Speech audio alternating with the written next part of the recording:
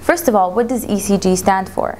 ECG stands for the electrocardiograph, which is basically an amplifier or a device that records the heart's electrical activity. First of all, we can see in the first diagram that there are the waves, the P wave, the Q, the R, the S, and lastly the T wave. Since we've spoken about the, the waves, we can talk about their segments, which are the PR segment and the ST segment, and two intervals, which are the PR interval and QT interval. Okay. Now, the P wave is the atrial depolarization or the contraction of the atriums, and the PR segment is the normal delay in the AV node.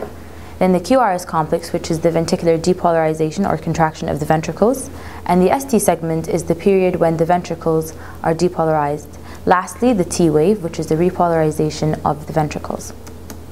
Okay, an ECG paper is divided into squares. If the paper speed is 25 millimeters per second, then your small square is 1 times 1 millimeters, or an equivalent to 0.04 seconds. So a large square consists of 5 small squares. 5 times 0.04 is equal to 0.2 uh, seconds. So the checklist of the ECG. First of all, we have the rhythm, whether it's regular or irregular, the rate, whether it's normal, fast, or slow, the axis, whether it's normal, right or left, um, P wave, whether it's present, absent, and the shape, the PR interval, whether it's normal, short, or prolonged, and the QRS complex, whether it's normal, which is narrow or wide, and the ST segment, whether it's normal, elevated, or depressed, and lastly, the T wave, whether it's everted or inverted. Okay, first of all, the rhythm. We'll look at the distance between um, two separate R's. Um, you look at your ECG strip, if ECG strip. If you see the R's are separate at the same distance, then you'll notice that the rhythm is regular. But if the distance isn't really equal between them, then it's an irregular rhythm. Okay, the rate. The normal heart rate is 60 to 100 beats per minute. So if it's less than 60 beats per minute, it's considered bradycardia. And if it's more than 100, then it's tachycardia. Okay, how do you measure the rate if the rhythm is regular? If it's regular, you've got two methods. The first one is dividing 1,500 by the number of small boxes between two separate R's. So 1,500 divided, in this example, you've got one, two, three, um, so that's 15 small boxes and one, so that's 16. 1,500 divided by 16 is 94 beats per minute. And then if you've got large boxes, you could divide 300 by the number of large boxes between the R's. So look at the example, you can divide 300 by 1, you've got 300. Divided by 2, you've got 150. By 3, you've got 100. And lastly, by 4, you've got 75. Okay, what happens if the rhythm is irregular? If it's irregular, you'll need a 6 second ECG strip, which consists of 30 uh, large squares. And then you'll count the number of R's and multiply that by 10. So if you look at lead 2, uh, you'll see that you've got 12 times 10, which is 120 beats per minute. Okay, moving on to the axis.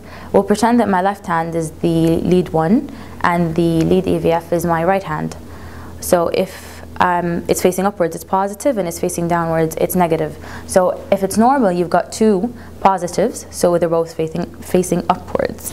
And then if you've got left axial deviation, you'll have your lead 1 facing positive, so it's upwards, and your AVF lead facing downwards or negative, so that's left axial deviation. If you've got your lead one facing downwards and your AVF lead facing upwards, which is positive, you've got a right axial deviation.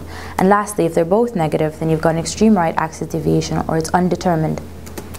Okay, so a normal ECG strip, let's go through it again. You've got the rate, which is 60 to 100 beats per minute, a regular rhythm, you can see that here, they're roughly the same distance apart, a P wave, which is usually, which should be less than three small boxes, PR interval that is between three to five small boxes, QRS complex, which normally is less than three small boxes, ST segment two to three small boxes, and T wave less than six small boxes, and the amplitude less than three small boxes also.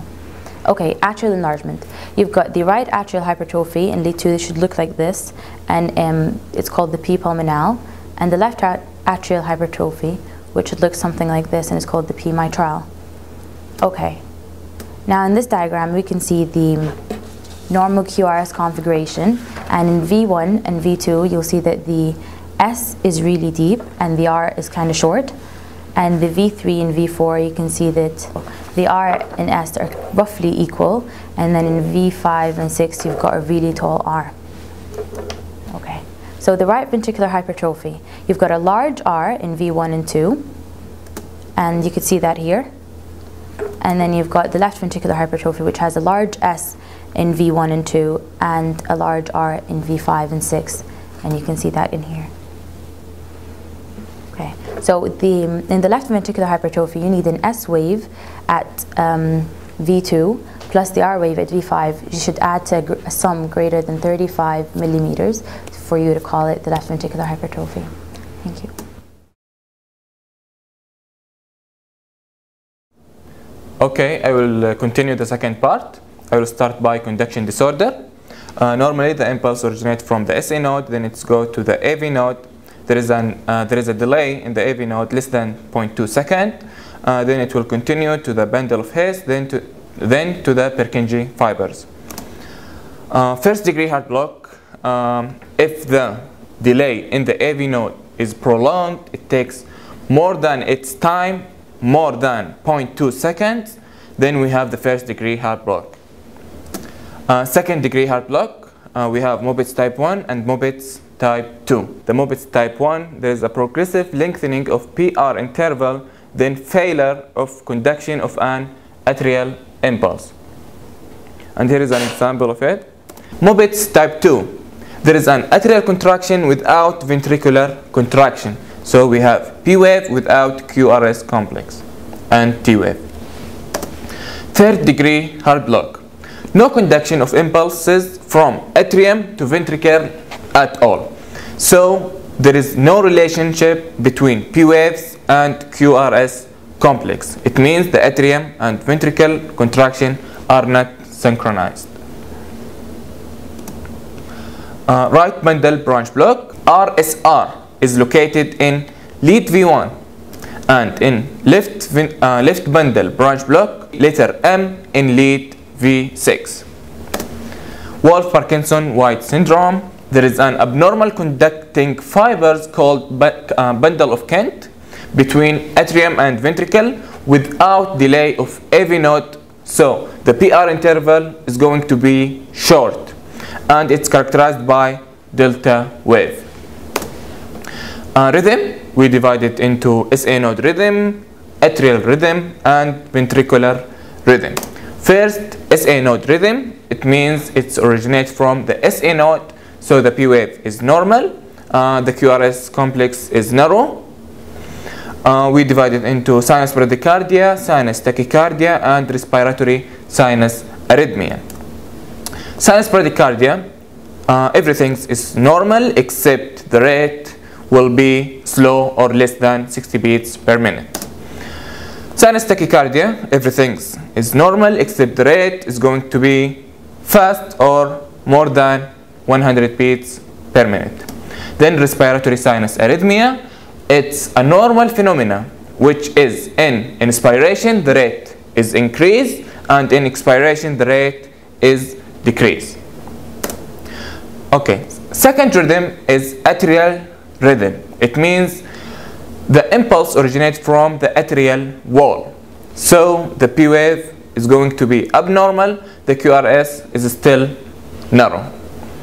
Uh, we divide it into premature atrial contractions, atrial tachycardia, atrial flutter, and atrial fibrillation. Uh, first, we have a premature atrial, atrial contraction. It's a, uh, it is an ectopic focus in atrium. It becomes a pacemaker for only one beat. Okay, then we have atrial tachycardia. Since it's tachycardia, the, uh, the rate is going to be fast, and the P wave have abnormal shape.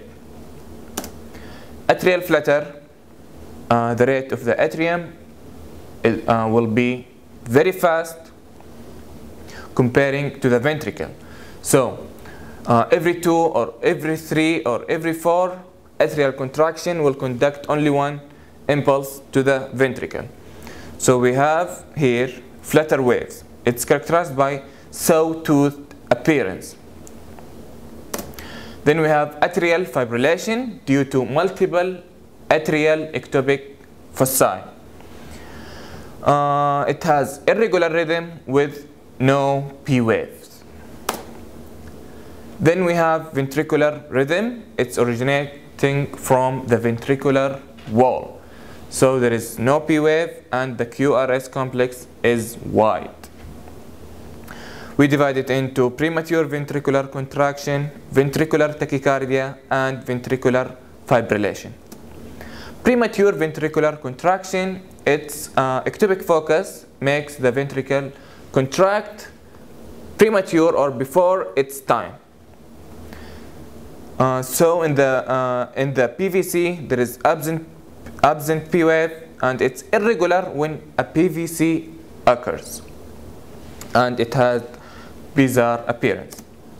Ventricular tachycardia uh, since it's a tachycardia uh, the rate will be fast uh, the P wave is absent and the QRS bizarre appearance. Torsades de pointes it's a French term. It's type from ventricular tachycardia and it means twisting of the point. Ventricular fibrillation, it's a serious condition uh, when there is a lacking of a visible order or organization. Then I will talk about ECG changes in coronary artery disease. ST segment depression means below base baseline and seen in ischemia. ST elevations means above baselines seen in infarction. This is the ECG paper and uh, lead V1 and lead V2 represent the septal, lead V3 and lead V4 represent the anterior wall, lead V5, lead V6, lead 1 and lead AVL represent the lateral wall, lead 2, lead, lead 3, lead AVF represent the inferior wall. Uh, here is an example of ischemia as we see the ST depression. Uh, and here is an example of inferior MI as we see the elevation in lead 2, 3 and AV, AVF. And here is example of anterior MI as we see the ST elevation in lead V2, uh, sorry, in lead V3 and lead V4. And here is an example of lateral MI as we see the elevation in lead V5, V6, lead 1 and lead AVL. Here is the end and thank you.